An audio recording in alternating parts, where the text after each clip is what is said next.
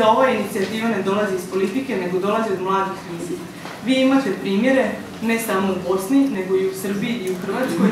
Imate takozvane škole pod jednim krovom, koje se nalaze e, u Srbiji, u Sanđaku, u Hrvatskoj, u Vukovaru, koje se nalaze u Jajcu, u Stocu, u Mostaru, u Vakufu, e, gdje su djeca odgojena i odgajana na način da s njima pod istim krovom žive i odrastaju oni drugi.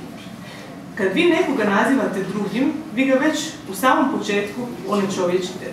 Vi njemu oduzimate e, pravo da se on osjeća, da misli i da ima jednake e, emotivne reakcije, jednake želje, jednake snove kao što ima njegov kolega. U tom smislu čini mi se da je vrlo važan moment koji moment svijesti koji nosi ova deklaracija, to je svijest o jednom vrsti velikog, zajedničkog, modernističkog nasljeđa.